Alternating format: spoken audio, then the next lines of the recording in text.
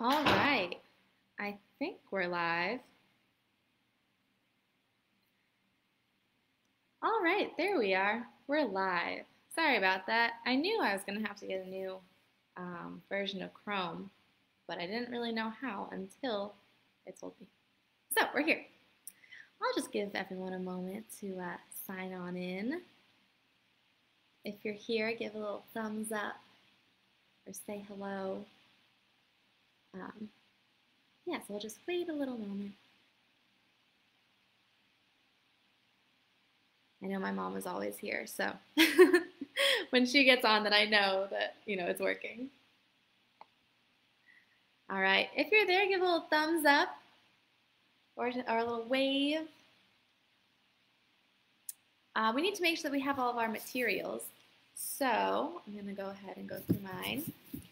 We need three pieces of paper. I chose three shades of green.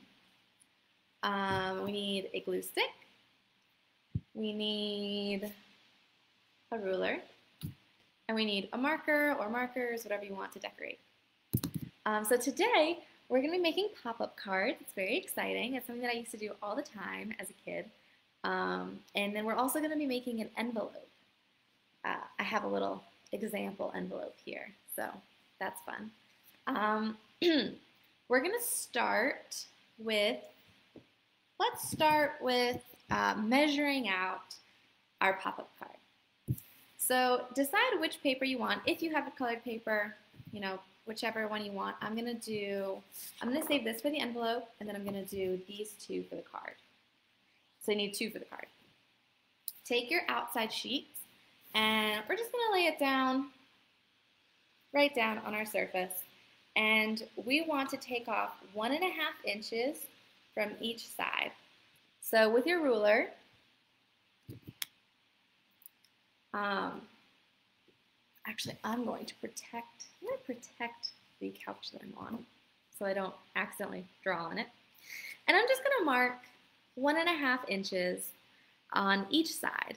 So I'm going to do one and a half and a little mark. I'll come over here, one and a half, a little mark, turn it around, one and a half, a mark. Actually, I need to go on this side too. So doing all of the sides, one and a half, Turn it around. Half.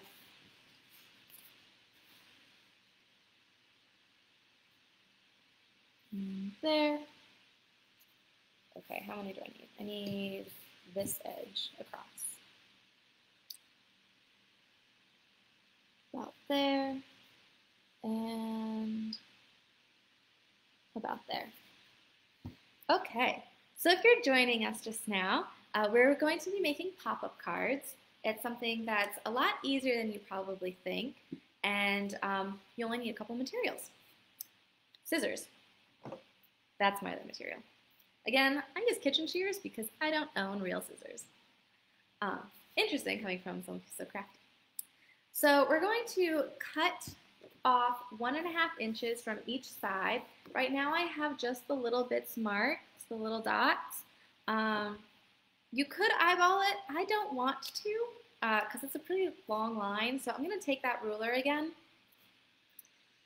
make this come down, and then I'm going to line up, again, protecting my couch here, line up dot to dot, top to bottom, and draw one straight line. And then it doesn't have to be perfect. And then I'm going to go top to bottom here. This one's a little trickier because my ruler isn't quite long enough. Oops. Okay, so one trick here is always draw on the side that you're going to be getting rid of anyway. So if you accidentally come off of your straight edge, it doesn't matter. All right, so we're gonna do that one again. And further down. Turn it, dot to dot, all the way down. Oops. This works better on a flat surface. I don't really have a uh, proper table to show you on. Okay, and then our last side, let's get this one done.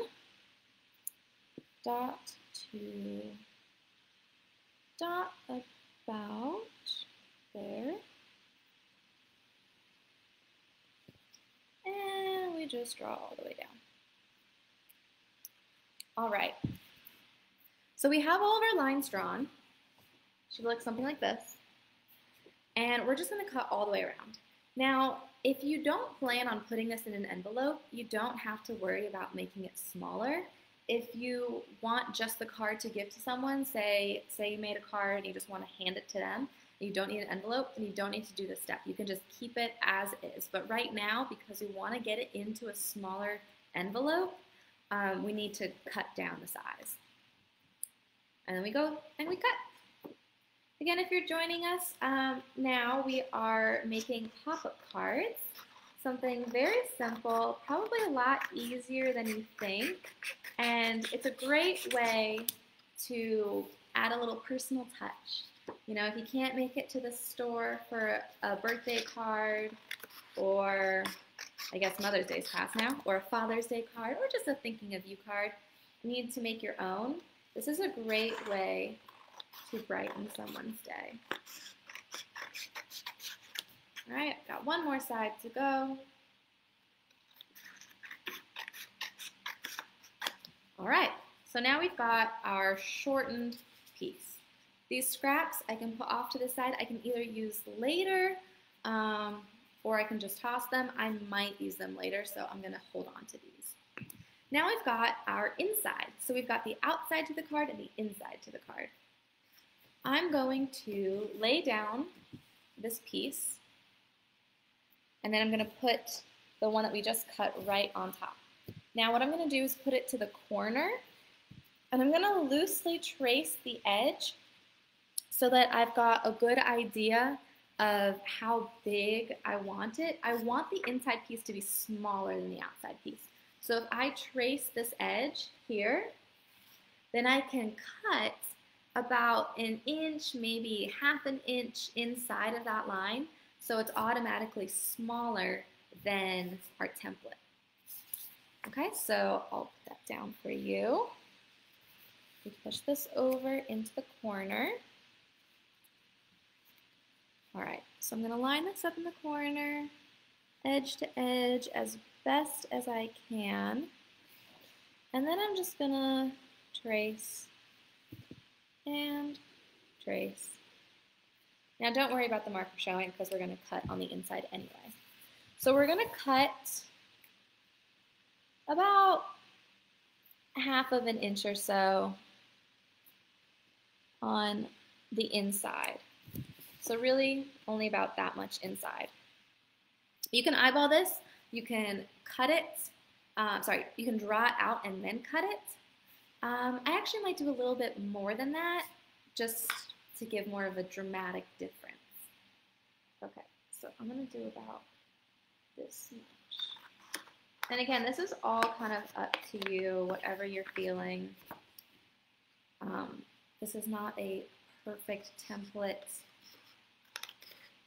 won't get mad at you if you don't want to do what I'm doing. Okay, so let's see how this compares. I'd say, I'd say that's pretty good. So we've got a border. It's not quite straight yet, but we've got a border and then we have an inside. So now we have our two pieces to the card. Take your outside piece and put it off to the side.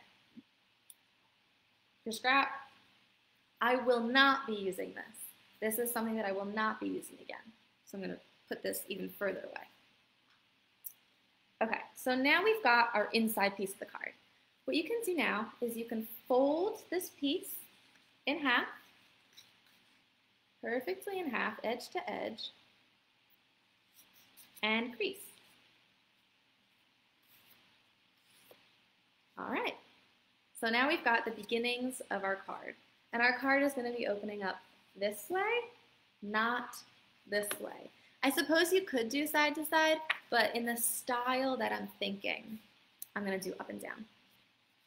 I'll give you, I'm trying to decide when I wanna give you the preview of what I made earlier. I'll do that in just a moment. Okay, so now we folded it. You're gonna go to the, the folded edge, have that toward you. Get your scissors out, and I'm just gonna eyeball this. It's gonna be about an inch deep. So about an inch from the base going down that side. Um, I'm gonna do, I'm gonna find the center loosely with my eyeballs, or you can measure it if you're into that, if you're like really anal about those things. And I just made two little slits. Hopefully the center is somewhere around here, somewhere around there. And then this is even. So if you were to measure it, you would find the middle and then you'd find equal distance away from the middle and do about an inch. Is that an inch? Three quarters of an inch of a cut. Then when you open it up, you're going to push that bit through so it sticks out the other side. So it sticks out just like this. And then you fold, you fold it over, crease it to reinforce the opposite direction now. And then when you open it, you get this little box. And that's supposed to be like a little podium, a little pedestal. So now that we've got that done, find your glue stick, found your glue stick, find your outside piece. Now, if you had a side with marker on it, you probably want that to be the outside. So like not facing you, but facing away from you.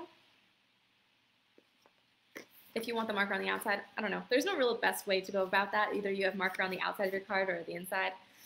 So really do what you want. We're gonna take this piece, we're gonna fold this one in half. If you've joined me, if you wanna put a little happy face, a little like button, a little heart, so I know that you're there. I feel like I'm talking to a void, but it's fun. Okay. So we've got, really crease that down. So we've got our outside folded. Da, da, da, and then you take your inside, stick it inside, so that when you, after we've glued this, you'll see, but it looks like a normal card, and when you open it, there's no longer an empty space here as if you just had this one, right? So this backing reinforces it and also provides a surprise. So we take a glue stick, pop it open, make sure you actually have glue sticking out the end and start to glue the back side of this inner piece. I always like to glue the piece that I will be sticking onto something so I don't accidentally glue too much or in the wrong spot. If you ever glue in the wrong spot and then things get stuck and it's not good. Okay, so I'm only gonna glue the top half. All right, hopefully that's enough. So I'm only doing one half right there. And then I line it up so it's even, and then I fold it over and I push down. Really give it a good smush because I don't really trust glue sticks all that much. So smush down. Okay, so we've got one half. Time to do the other half. Glue stick, make sure you still got glue, fold it apart, separate it, and then we're going to glue this side because then that's going to stick over to the other side. So make sure you really go around this box area. Oops. Good pressure on there. All right. Let me fold this over and give a good smush, good rub. Okay. All right, so now we've got card all glued together.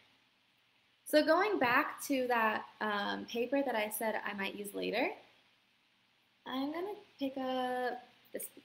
Okay, so with your scraps, what you can do is that you can cut them out and you can make little shapes and then put them on this pedestal. So I'll show you what that looks like. What shape should I do? If anyone has any suggestions, just write them away in the comments. If not, I'm gonna do, should I do a tree? I feel like tree is very Earth Day. I wanna do more of a uh, thank you to our first responders. I'm not very good at um, cutting out syringes. Could do a mask, but I feel like that's just a piece of paper. Another thing that they use, what would they use? A stethoscope? Well, that's hard too. I might try a stethoscope. Ooh, okay. Let's try this. So I'm gonna draw it first. Um, I'm going purely based on memory. I'm not a doctor. I don't know uh, the last time I saw a stethoscope. So we're just gonna, you know, run with it. We're gonna go like this, and like this, and then maybe another side, up, and up. And I think they've got like little balls on the end. Not a hundred percent sure. And then they've got this coil that goes around. Okay. I got the coil. And they've got this flat part they use to take the measurements. Okay, this is a very poorly done stethoscope. I'm afraid to show you. Wow. Let me let me color in a little bit. Make it look a little bit better. Maybe, you know, give it some shading. It gives it some life. Is that a thing? Is that a saying? Not really.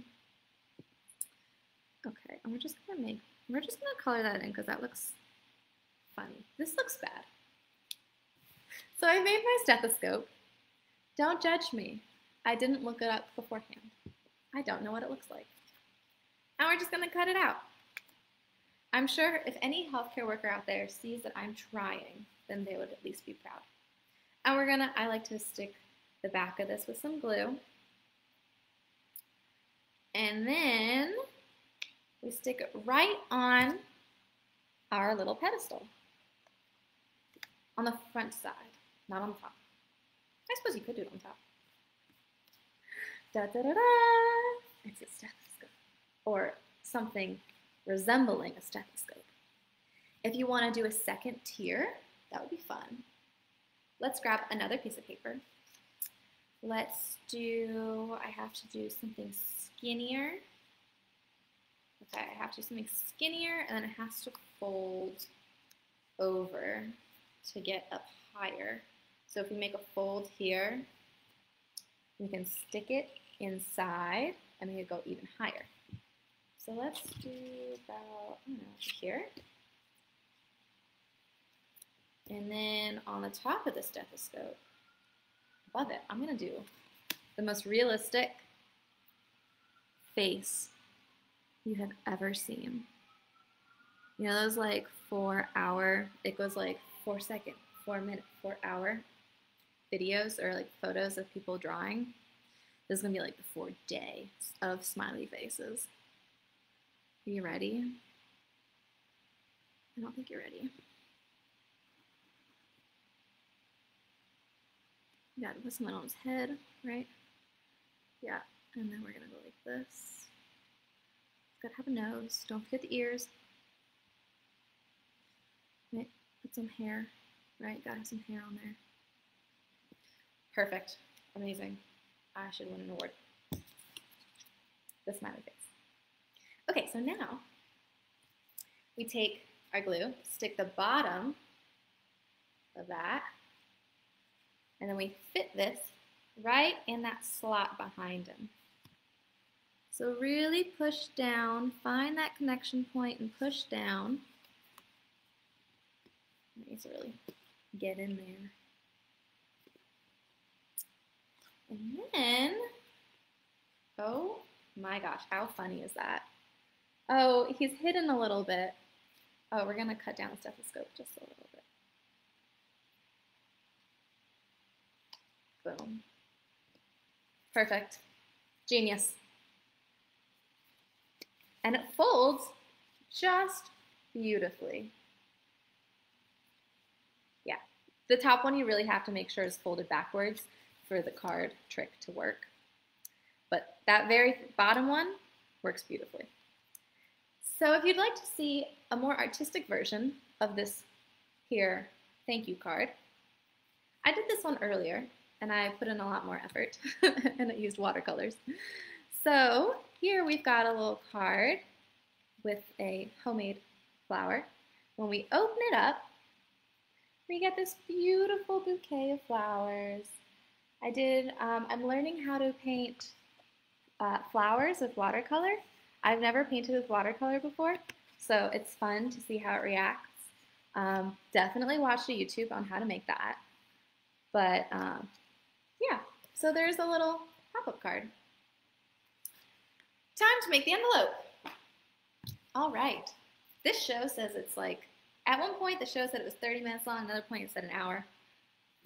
I'm just gonna keep going until I'm done. So, we're gonna make an envelope. Find your third piece of paper. Now, unfortunately, we need a square. This is a rectangle, so we have to fix that. There is this trick that I really like to um, make a rectangular piece of paper into a square. Um, I can actually, I can show you that. This is a very useful tip, actually. Um, we can't do that, unfortunately, with this piece of paper because it creates um, too many folds. But if you have a rectangle and you want to make a square, take one edge. I can't do it facing the camera. I have to go down. All right. To make a square, you take this edge, fold it over, and then you can either draw a line or rip it off. I know sometimes people can like um, fold it back and forth to rip it off. But you can draw a line, and then when you cut it, then all of a sudden, you go from a rectangle to a perfect square. Ta-da! That's how to make a rectangle into a square. However, you do end up with a fold, and we don't want that. So, we find our ruler, and we take our pen, and my pieces of paper, they say they're eight and a half by 11, but honestly, this is not eight and a half. This is like eight, I have already measured this out, eight and a half plus, I want to say that's like over half. It's not even half of an eight. It's like over half. Anywho, I've marked it on my ruler, how, how long this is exactly, and then I'm to mark it on here so that I can move the other way. This down so you can see what I'm doing. Mark it there, one end, and then the other end. Right here. And then I draw a straight line. Again, protect your surface. Dot dot, lined up, draw a line, and cut. So we're going to cut. This is the alternative way to make a square. So the envelope that we're making is in an origami style, paper folding without the use of cutting. Okay, besides this, once you have your paper, no more cutting, no tape, no glue, no nothing. If you're gonna mail this, that's a different story. Please shut your envelopes. Um, otherwise, everyone's gonna see your pop-up card and it's no longer gonna be so special for the person you give it to because everyone's already seen it. Don't want that. You have your paper. We're gonna fold it in half now, don't actually fold it. You're doing corner to corner as precisely as you can. Don't fold the whole piece. Just pinch. Just pinch and let go. That's all. Do the other side. We're doing a crisscross. Fold, pinch, let go. Okay, well, now we've got this minimally, minimally creased page. Using those creases, I'm gonna turn this downward. Now you're gonna take your outer corners here and you're gonna fold it into the center. So the reason we fold it is to find that center piece. Okay, so we bring it over and fold, bring it over and fold. I am on an ottoman, so these folds are not tight, so let's really make those tight. Really fold that in. If it's not perfect, don't worry. You'll be loved no matter who receives this, even if it's not perfect. They don't line up perfectly, and it's going to be okay. Okay, moving on. Top piece over. We want this to really make some crisp edges. Maybe a little bit more.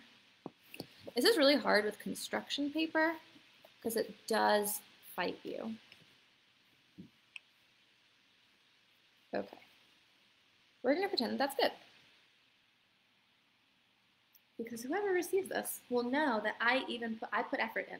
Therefore, love what I did. Okay, so now we've got one, two, three. Open up the top. Open up the top, so now we are only working with our middle two. Then, I remember how this goes. Forgot my instructions. Aha. I'm using my uh, extra one to remind myself. Okay. Yes, we need to take the bottom piece. All right, we've unfolded the top. We take the bottom piece, we take this point and bring it up to this crease. So bring it all the way up to the top and crease, making sure the edges are in line. Yeah, I wrote some instructions, but I think I left them over there. Okay, so we did this. Unfold. Now we take one side, this is still the bottom. Take one side, see this crease? Fold it up just before the crease. You don't want to go past the crease, you want to stay on this side of the crease. And go all the way down. So now, it looks like this. We just did one side, we went in, lined it up. We're going to do that to the other side. All right. Unfold this to do that. We go across to the crease and bump and here. Just like that. All right, so we did the other one and we unfold it.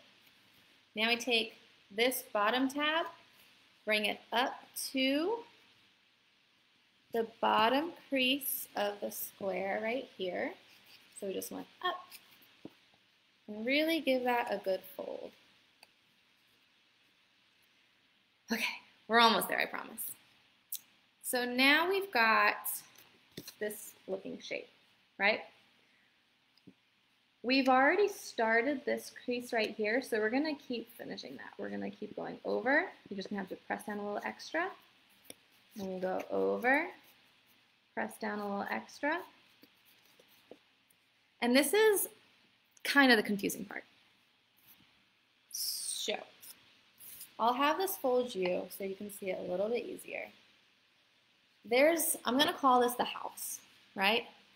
And then we've got these little tabs inside, right there. The tabs need to go inside the house. So what we do is we take this tab, we have to kind of unfold it, scooch it over, and coax it. It's very hard to do upside down. Okay, I'm gonna do it facing me. Okay, so we've got our house. We take this tab, we have to coax it over and then fold it down. So now we've got this crease that's the opposite direction as over here. Before, it was like this, and then we move the tab inside the house and fold it down. So we've created a new crease. And we do that to the other side. Let's see if I can do this one upside down. Okay, coax it over, tab goes inside the house, just like that. Okay, our tabs are in the house. I keep turning this around. Just, okay, I'm gonna keep you down here. All right, so now we've got this situation. We're gonna fold it up. Are you seeing the envelope starting to form? Yes, yes. Fold it up and really reinforce the crease on the bottom in case it wasn't good before. We wanna fold this into here. So we take the little house that we had, take the little house, and tuck it behind those side flaps. And then we have a little pouch. Now that we have a pouch, take top, da da da da, an envelope. So that's how you make an origami envelope. And now that your thank you note or your pop-up card is done and it's smaller, right? It's, it's smaller than, say, a large card by a significant amount. You can put this in your envelope. Let's see if this fits. Let's open it up.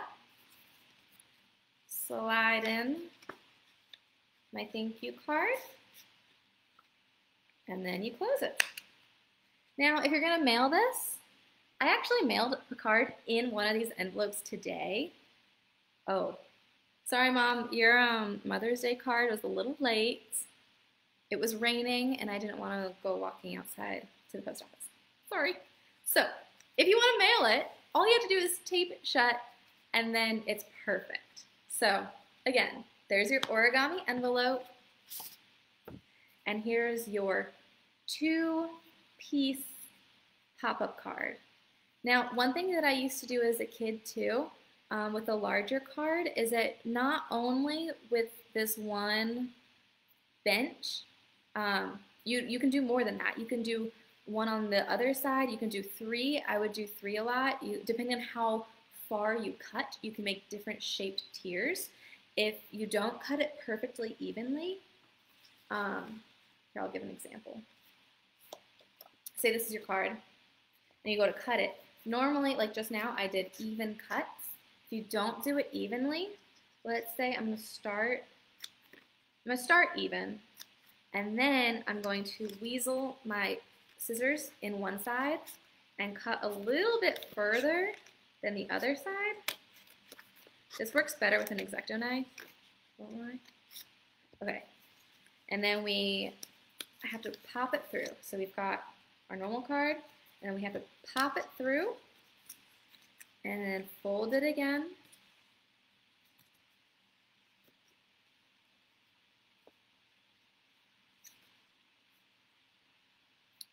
Really fold it. Hmm, I guess that's not what I did. How did I make them tall? Oh, I had to make them much taller. That's what it was. So one side's to be a lot longer than the other. So you can see the beginning of this. And then you have to fold the other side as well.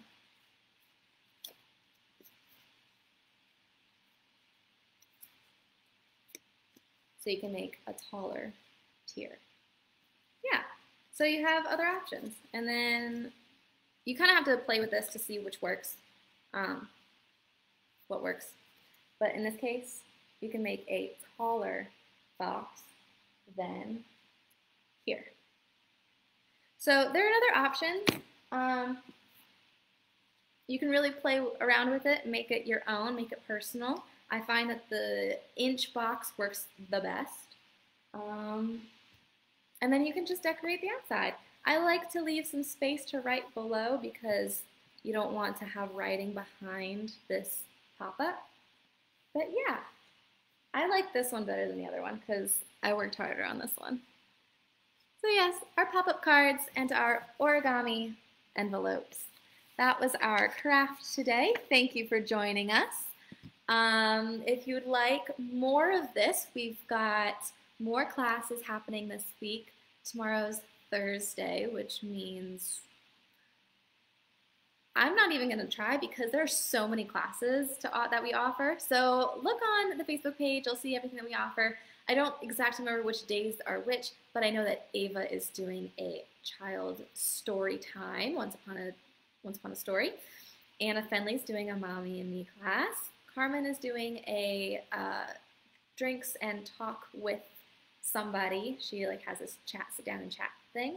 Leo interviews um, choreographers, which is really cool. You can see some of their works. Um, James had his improv today, uh, but there are so many classes. Uh, there's a baking show um, on Friday. It's really great. We're doing a lot of, of um, videos for you to check out. If you would like to follow us on YouTube, we have a new YouTube channel that has all of our videos.